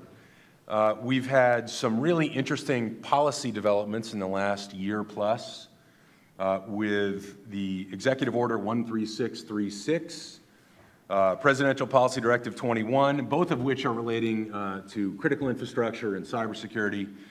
Um, we've seen this cybersecurity framework uh, developed by NIST. We've seen an update of the uh, National Infrastructure Protection Plan, and all of these things somehow mention or touch on cyber directly or indirectly. Uh, certainly, there have been many high-profile events. Many of us may have been victims of such events, perhaps Target, uh, the Target breach, any other breach. There seem to be uh, breaches every day. Uh, the heartbleed issue, which may mean something to some people, but it was certainly seen as one of the most significant events in recent history. Uh, Snowden, of course, still hangs around uh, the implications of Edward Snowden and his release of information. Um, and I think we live in a world, and Alan touched on many of these things, we live in a world in which uh, the Internet of Things is here-ish, is certainly coming, in which uh, we will have sensors and actuators deployed everywhere, and our fridge will talk to our toaster, and uh, our jet engines, they already talk to the front of the plane, but they'll talk to the mothership and tell, uh, tell the guys on the ground that the starboard engine number two is a little hot and maybe you need a new part in flight. Um, and so what that means is this rapid expansion of the attack surface. And then, of course, we've seen this indictment of five Chinese uh, PLA operators. Uh, whether this goes anywhere is, is, you know, we'll see, but it's a very exciting time in cyber, and I suppose that's both a good thing and a bad thing. So, so I'm here to talk a little bit about what I see as, as uh, you know, what does a QHS, uh, QHSR say about cyber? Where do I think we've seen the, the biggest changes since the last QHSR? Uh, and I do have a couple uh, mild criticisms which I may leave until questions. I'd like to start, though, by saying uh, that I, you know, I'd like to congratulate DHS on what I think is a really thoughtful document. Um, and it's the kind of document that at least I know I will be using and digesting and reading and rereading over the course of the next several years as I do my own research uh, for DHS and on Homeland Security issues. Uh, some of you may know Chris Bellavita from the Naval Postgrad School, and he's, he's posted some comments on this version, essentially saying, uh, throwing praise to DHS, and I'd like to align myself with his views. Um, but in terms of cyber, so Alan uh, put up the four main goals of this QHSR on cyber, and they're about things like strengthening the security and resilience of critical infrastructure, uh, securing the .dot .gov domain, uh, advancing law enforcement and incident response and reporting capabilities, and strengthening the ecosystem. Now, none of this is necessarily new. These are issues that the department has been working on for several years, but it certainly is a uh, perhaps more detailed um, uh, overview of what the department is doing. And so, you know, in, in this, uh, just in thinking about strengthening uh, critical infrastructure, I mean, we're talking about increasing information sharing, a very popular uh, phrase, but extremely important idea in, in cyber.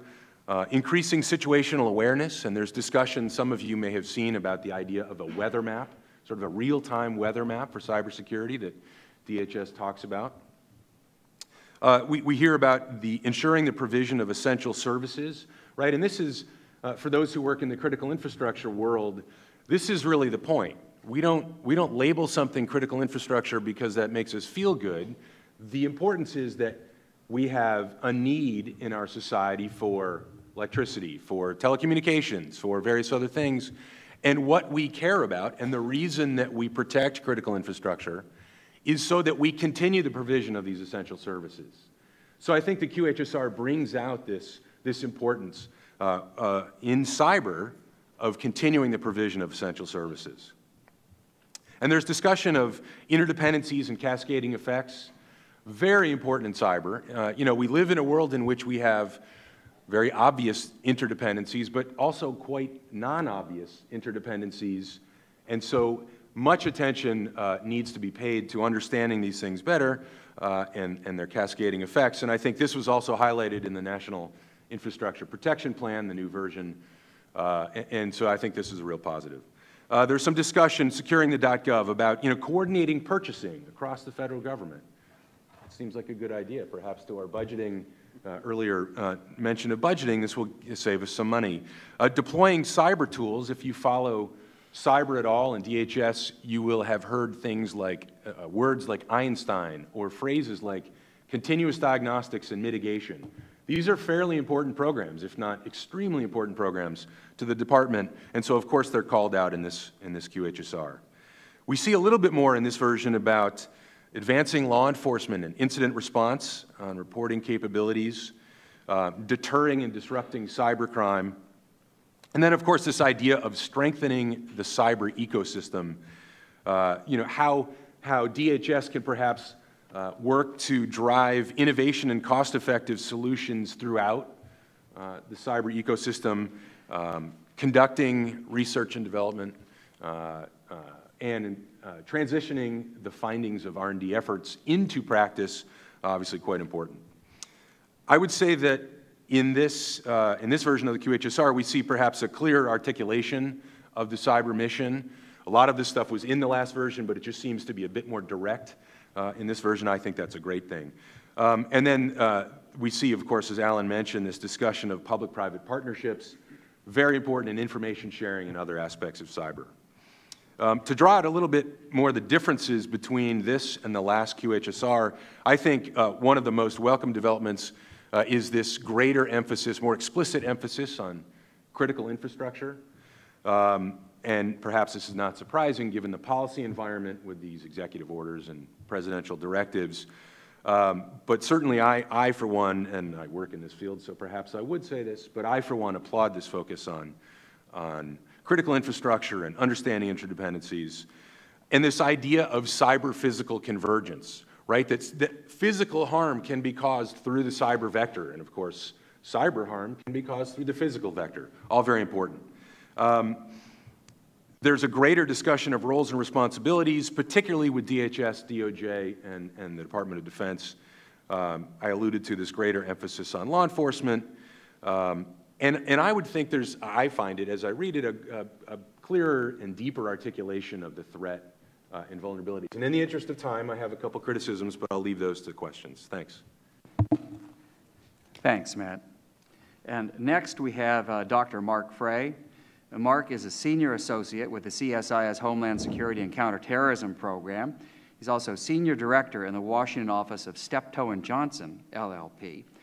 Previously, Dr. Frey held senior positions at DHS, including Chief of Staff for the Office of Policy Development, and most notably, uh, director of the visa waiver program. That's, that was really something. Great, great achievements, Marc, and uh, welcome this morning. Well, uh, thanks, Paul, and uh, it's a pleasure to be here, uh, particularly on this distinguished panel. I'll note uh, before I start, I, I, may be the only person on the panel who's actually an alumnus of DHS and not of DOD. So at, at, at some point, you may find me rising to defend the honor of my former organization um, as we go. Um, I was also involved, um, at least to a, a, relatively small degree, in the formation of the first QHSR. Um, and so I'm going to talk a little bit about that and a little bit about how this new one differs much the way that, that, that Matt did. My focus is going to be on uh, the border flows issue that uh, Alan highlighted. And, and, in some ways, th that's the easy one in that and, and this is where I go back a little bit to the first QHSR process, that's one of the areas, perhaps uh, in opposition to cyber and then uh, to, to counterterrorism that Ozzie will be talking about, where that's a pretty core DHS mission that doesn't have a lot of other players in the space that they have to fight some of these boundary battles with. Um, that Dave mentioned, border security, managing the flow of people and goods in, in, into and out of the country, you know, that's DHS, and it was components of DHS before DHS was, was established. And so a lot of the time we spent in the first QHSR was fighting with some of, fighting is probably not the right word, discussions with some of our interagency partners on proper roles and responsibilities for things like counterterrorism and in particular cybersecurity, and some of those debates are still ongoing. So uh, borders a, a little bit easier there. And it's also worth saying, um, before getting into what this document says, that that's also an area where DHS has had a tremendous amount of success. There, there is now a unified face at the border. Um, there are now programs, particularly these trusted traveler programs, uh, that do what uh, Alan noted the QHSR is supposed to do, which is risk segmentation, so-called shrinking the haystack.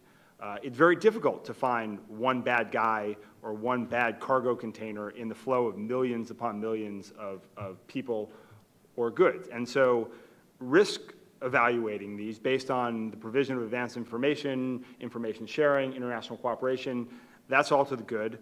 Trusted traveler programs like Global Entry and relatedly uh, PreCheck and on the cargo side, CTPAT, also all, all very much to the good. And so operationally, DHS has had a lot of success um, in, in, in doing this work. So to transition to the current QHSR and whether it can continue this success um, or, or, build upon this success, I think the good news in, uh, is first that a lot of that role setting debate is largely over. And DHS now has these five core missions and a key role to play in them. And in particular, it's got the lead role in this border security issue. But I also think that it's become a, more complicated is not the right word, but it's one of the things that the QHSR does not touch on enough, but that I think DHS really needs to do more of in, in practice, is this international engagement that Alan talked about. It, it's there, it's, it's, providing some, some lip service to it in a sense, but actually how that happens and how DHS leverages its large international footprint and some of its programs, whether it's, it's offering global entry membership to partner countries, whether it's establishing pre-clearance facilities in, in, in countries, um, there hasn't been, to my view, as much rhyme or reason as to how those things are established. If you look, for example, at the list of global entry member countries, I defy anyone to find a pattern as to why these countries were chosen. Why is Panama a member? Well, I'm not sure. You know, does Germany make sense? The UK make sense? Yeah, I, I can see that. But some of these other things don't make sense, and why some countries aren't included also doesn't make sense. So I think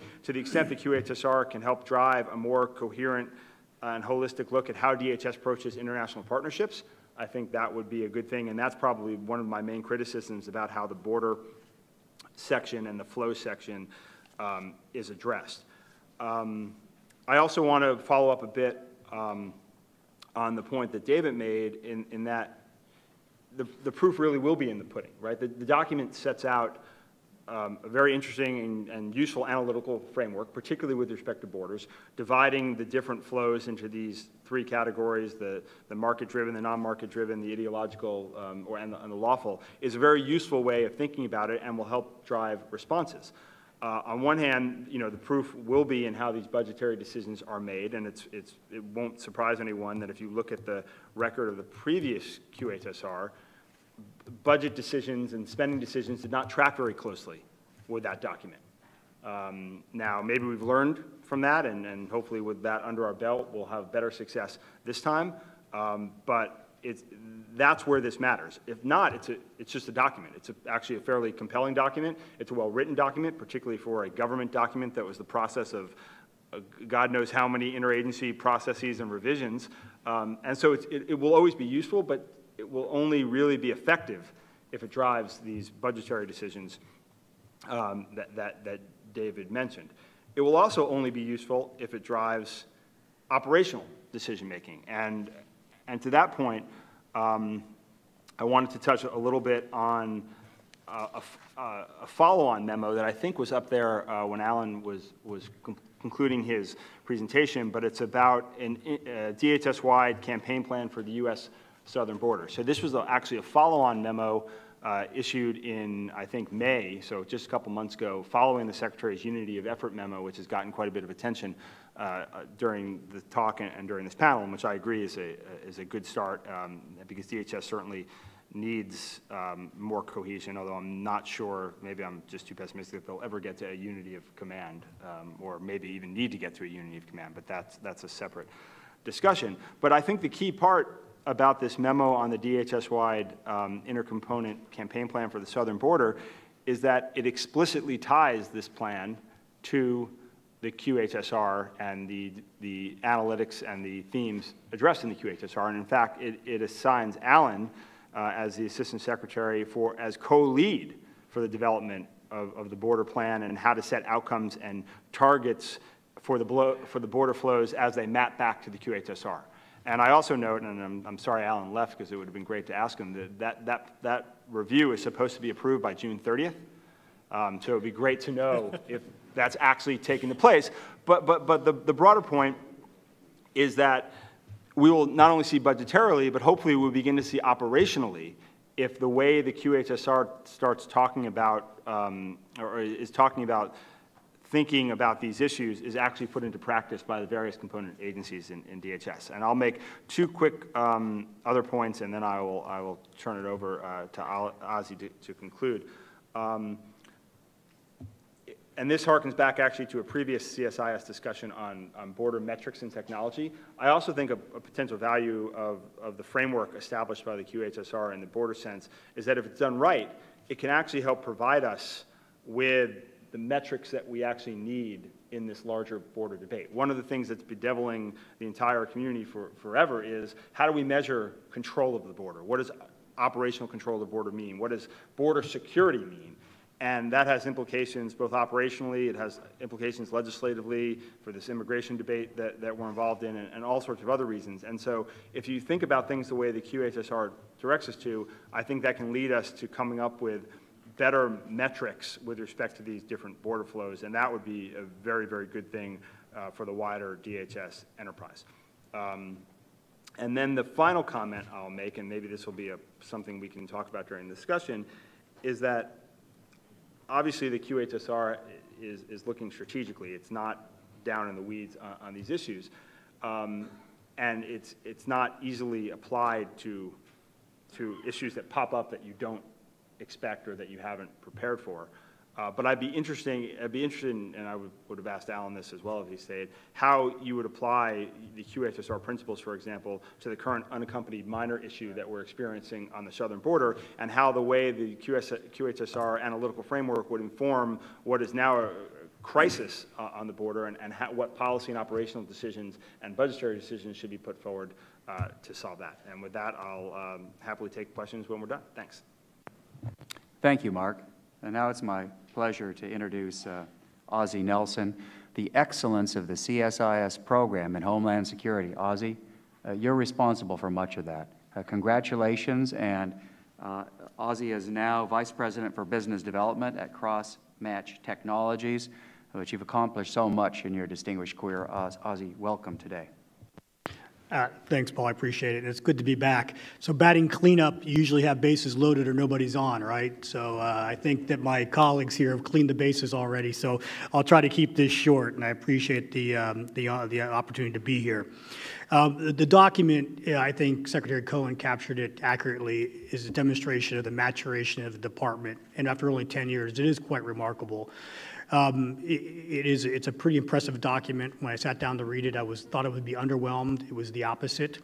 Um, however, there's still a lot to be done. And often, you know, these documents are the target pinatas for the media and for pundits to talk about how fluffy they are, what they don't accomplish, but they really are table stakes to have a coordinated uh, unity of effort. It's the point from which all other actions can take place. Um, I'm here to focus on the counterterrorism section, and I was thrilled um, uh, to see that counterterrorism is going to remain the cornerstone of Homeland Security. Uh, very important. I think with the killing of bin Laden, that um, there has been a desire by many to put this nuisance of terrorism behind us and press forward onto the larger issues of national security. Um, but terrorism, unfortunately, is here for us to stay. In 2011, the U.S. spent more on its military than the next 13 nations combined.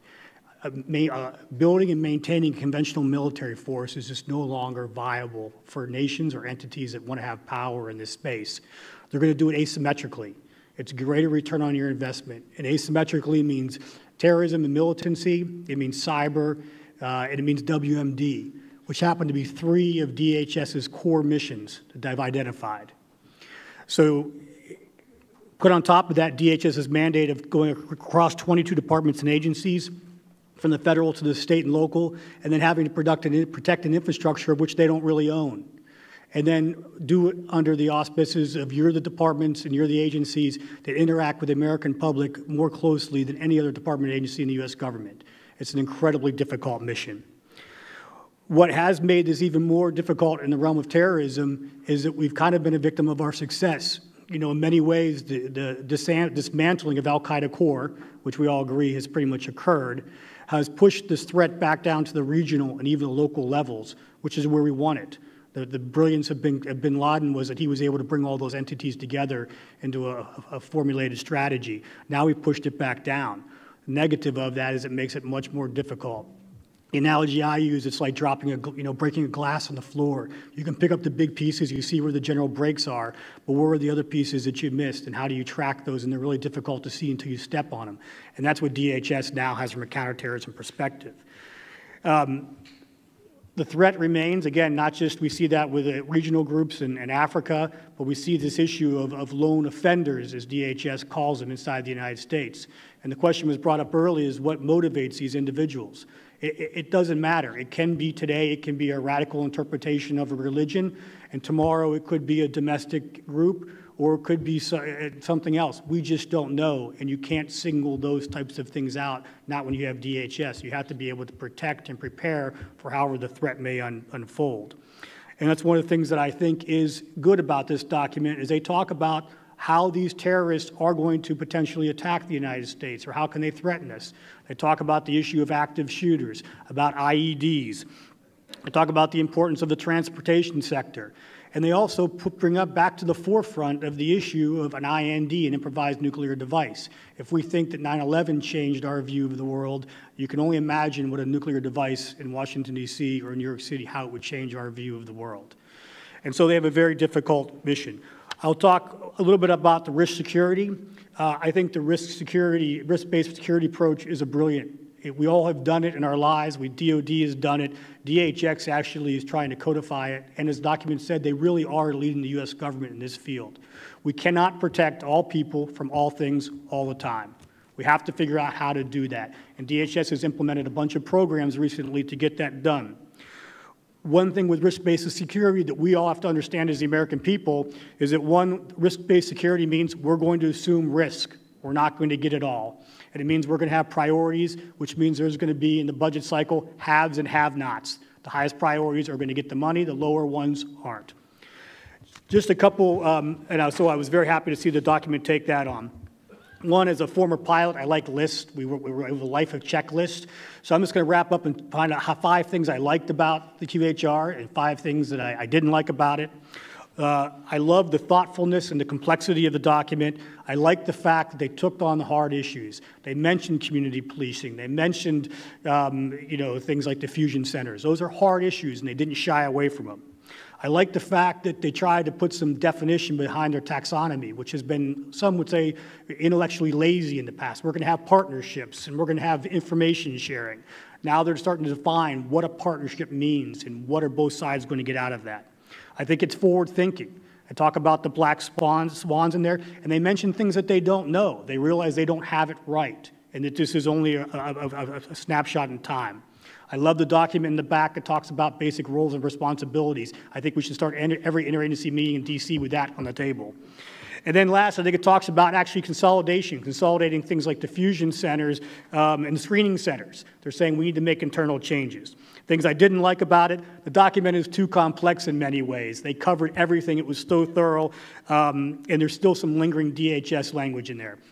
From a counterterrorism perspective, I do not like the term lone offenders. They are terrorists. They're not offenders. Offenders are people that don't pay their parking tickets. Um, I don't answer the questions about how, and my panelists have talked about that. And lastly, the biggest issue of keeping the department to be the department that we want it to be is congressional oversight. And they didn't mention that in the document. Thank you for the opportunity to be on the panel. Thank you, Ozzie. Uh, I promise it will end promptly at 11. All of you are busy, uh, important people. Uh, but that does leave us with some time for questions. I had one in my back pocket, but I'm going to defer to all of you. If we could uh, start uh, right up in front. Good morning, Adam Thiel. I'm a Deputy Secretary of Public Safety and Homeland Security for the Commonwealth of Virginia, and I appreciate and perhaps exemplify the mentions of state and local governments as part of the Homeland Security enterprise. I'm interested in some concrete examples, perhaps, from you all or some concrete suggestions for how we can strengthen unity of effort for those of us occupying the middle and the bottom uh, of the ah. space, depending on how one's uh, perspective is calibrated. Thanks for your leadership in Virginia, too. Uh, who'd like to answer that? I'm going to turn to the mission framework in depth, which is this chart towards the back of the QHSR that essentially takes the, the, the, missions and breaks them down into sub-goals, if you will. This is the place where I was particularly saying we need additional guidance on how this is going to translate into actual resource decisions. I was focusing in terms of the internal federal budget, but I think the same thing is true what, what I would do if I were you is look for the places where that goal aligns with where Virginia, for instance, in your case, needs to have better federal interface and better federal visibility and effort or focus or resources and, and go from the bottom up inside that mission framework. And that's how I would take this document and turn it into what you would do. Oh, very quickly. Yeah, really quickly. And I, so I think that uh, I have four criticisms of the document. I may or may not get to them, but one of them is this issue of there, there's a discussion of roles and responsibilities, but cyber, as Mark noted, is a team sport, uh, perhaps uh, less so than border uh, security. And, and I think that that thread could have been pulled a little bit more to expand on what is it that actually we want state and local, even private citizens to do. Um, I really would have liked to see more of that. Thanks, Matt. Who else has a question? Jess, can you introduce yourself, please? Good morning. My name is Jessie Ionati. I'm currently working international issues with the Department of Homeland Security. Previously worked in the Pentagon for Dr. Stockton um, in the Office of HD and ASA. Um, I actually share the perspective of, of, one of the panelists on there are some tremendous successes that DHS has had in the years since its creation, yet I think we all acknowledge that there are still significant challenges, particularly in the unity of effort. As I was uh, hearing the commentary, I just jotted down a few of the challenges that I've noted, being a little bit uh, behind the scenes now. You know, everything from the logistical to you know multiple different sites, dispersed real estate across the area, personnel challenges. We don't have a cadre of Homeland Security professionals yet. You know, we don't have a Goldwater Nichols that's encouraged really the jointness and the structures that DoD has had the advantage of, or really a culture of sort of that purple, born purple sort of approach, um, as well as some capstone guidance documents that DoD has had, you know, things like the GEF and the JSCAP that really direct components in a way that DHS hasn't quite gotten to. So it was a long lead up to my direct question to this distinguished panel, which is, of those and perhaps others that you would know, what do you see as the biggest challenge? And were you in the Department of Homeland Security right now, what would be your focus for improving? Thanks. Who'd like to take that one on?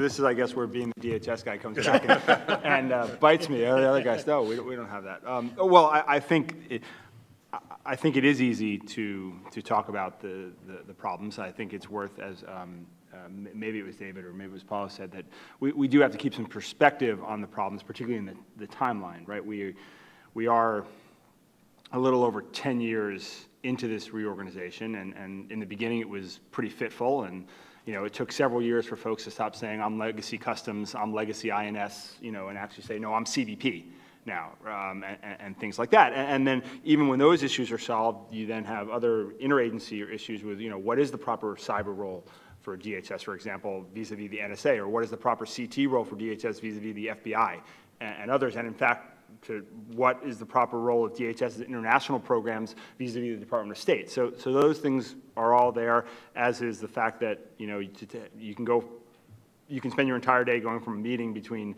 TSA and the NAC and, and, and everywhere else. Um, so, you know, all that being said, I actually think that, that the, the biggest problem that DHS is facing is not this cohesion, because I think it's getting there, particularly if you put it in historical context.